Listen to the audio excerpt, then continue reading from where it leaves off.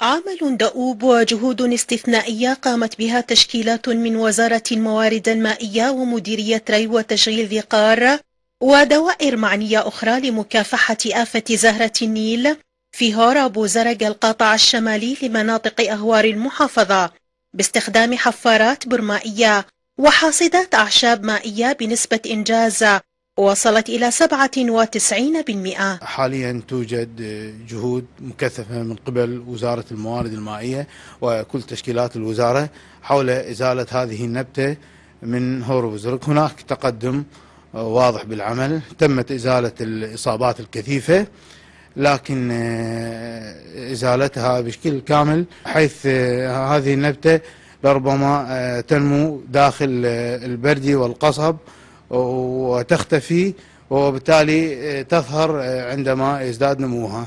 تم إنجاز أعمال إزالة نبات زهرة النيل بنسبة تقريبا بحدود 99% آه، بقية التشكيلات أيضا أعلنت إنجازها بالإضافة إلى إزالة آه، النموات الجديدة.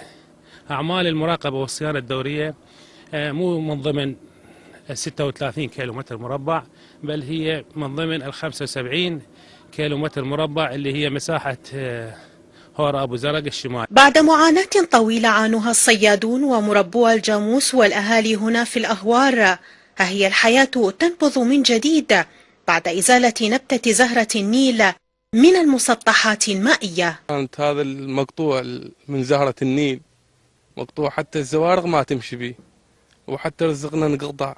هسه الحمد لله والشكر آه، غضوا عليها آه، بوجود الطيبين والخيرين والمهندسين. وهذا الماء كان مقطوع قاع حتى البلد ما يمشي به وخلف عندنا زهرة النيل حتى حج أنا جسمي هسه إذا تشوفها مرم. هاك شوف.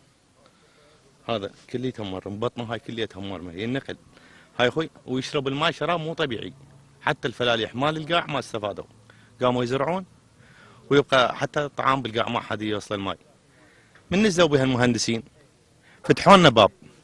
وحدة ما بقت هسه ده هاديشنا أمس اللي والله هاي أخوي وخلصت ورحمة من الله من الله. طهرونا البارك كله هور ابو زرق والحمد لله والشكر آه، صارت مساحات آه، قدرنا نشتغل بيها آه، الصيد رجع الهور طبيعي صار قدرنا نمشي.